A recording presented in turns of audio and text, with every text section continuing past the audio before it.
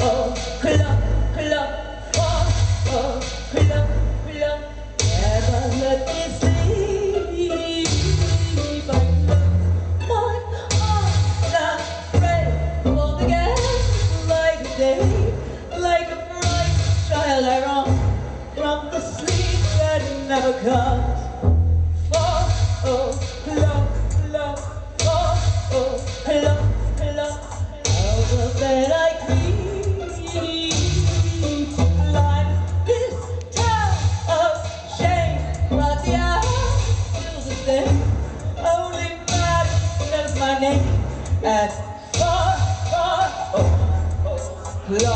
yeah.